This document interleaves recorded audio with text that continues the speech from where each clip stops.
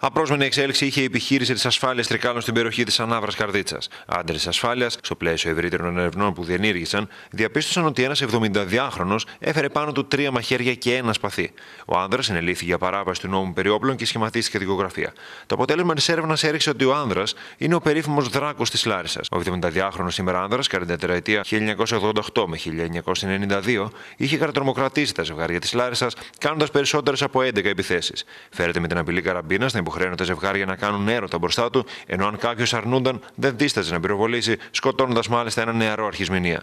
Το πρώτο επίσημο χτύπημα του Δράκου καταγράφηκε το Σεπτέμβριο του 1988 στην ασφάλεια της Λάρισας μετά από καταγγελία ζευγαριού, το οποίο είχε γίνει στόχος επίθεσης. Ένας άγνωστος, παραφυλώντας σκοτάδι, παρακολουθούσε ένα ζευγάρι που τα ξημερώματα ερωτοτροπούσε μέσα στο αυτοκίνητό του στην περιφερειακή οδό. Ο άγνωστος άνδρας ξαφνικά ξεκίνησε να πλησιάζει προς το αυτοκίνητο, όμως έγινε αντιληπτός από το ζευγάρι. Τότε ο οδηγός έβαλε μπρος στο αυτοκίνητο, προσπαθώντας να διαφύγει, όμως ξαφνικά ο άγνωστος άνδρας πυροβόλησε με αποτέλεσμα να τον τερματίσει στο πόδι.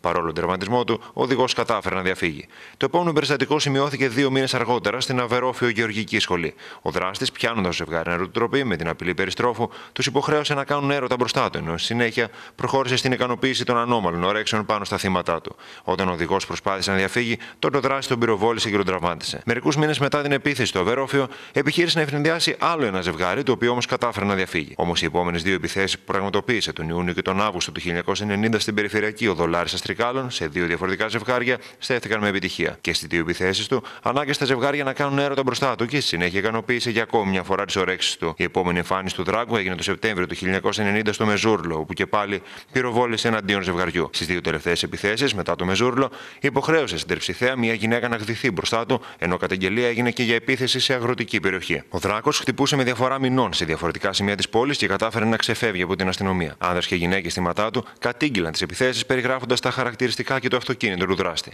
Τον Νοέμβριο του 1990 η ελληνική αστυνομία εντόπισε το αυτοκίνητό του στην Οδοβόλου και τότε ο Δράκος, αντιλαμβανόμενος στην παρουσία αστυνομικών, εμβόλυσε το περιπολικό και κατάφερε να διαφύγει. Το βράδυ της 23η Μαου του 1992, ο Δράκος πραγματοποίησε διπλό χτύπημα. Πρώτα πυροβόλησε έναν οδηγό αυτοκινήτου στην περιφερειακή οδό Λάρισας, ο οποίος κατάφερε να ξεφύγει χωρίς να πάθει του παραμικρό. Η αποτυχία του τον εξόργησε και αποφάσισε να ξαναχτυπήσει για δεύτερη φορά. Με διαφορά λοιπόν μιας ώρας από το πρώτο χτύπημα, εντόπισε ένα σταθεμένο γιοταχή σε αγροτικό δρόμο, παράλληλα το 7ο χιλιόμετρο της Εθνικής Οδού Λάρισας Αθηνών. Ο οδηγός ήταν ένας αρχισμηνία, ο οποίος δεν αντελήφθη την παρουσία του δράκου με αποτέλεσμα να μην προλάβει να αντιδράσει.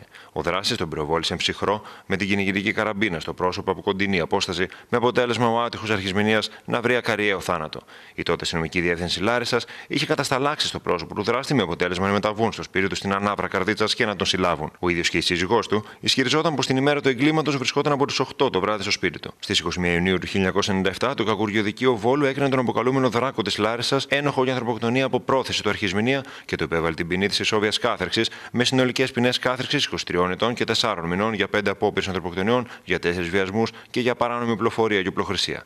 Μετά την αποφυλάκηση του όμως, ο δράστης φαίνεται πως δεν είχε συνετιστεί. Τα ξημερώματα της Κυριακής 15 Ιουνίου του 2014, οι αστυνομικοί της ομάδας Δίας Λάρισας κλήθηκαν από περίοικους στην περιοχή του ΟΣΕ να επέμβουν σε διάρρηξη διαμερίσματος. Στο διαμέρισμα είχε ήδη εισβάλει ένας άγνωστος άνδρας αφού είχε σκαρφαλώσει σε δέντρο, μέσω του οποίου έφτασε σε μπαλκόνι διαμερίσματο του πρώτου ορόφου, όπου με λωστό παραβίασε την μπαλκονόπορτα. Οι άνδρες της Δίας μπήκαν στο διαμέρισμα σκαρφαλώνοντας το δέντρο. Αφού συνέλαβαν το διαρρήκτη, περίμεναν τον ιδιοκτήτη να επιστρέψει στη Λάρισα για να ξεκλειδώσει το διαμέρισμα ώστε να εξέλθουν. Ο Δράκος επέστρεψε και πάλι στη φυλακή, καθώς καταδικάστηκε από το εφετείο σε κάθριξη 5 ετών και 5 μηνών, ενώ διαπιστώθηκε ότι είχε διαρρήξει ακόμη δύο διαμερίσματα.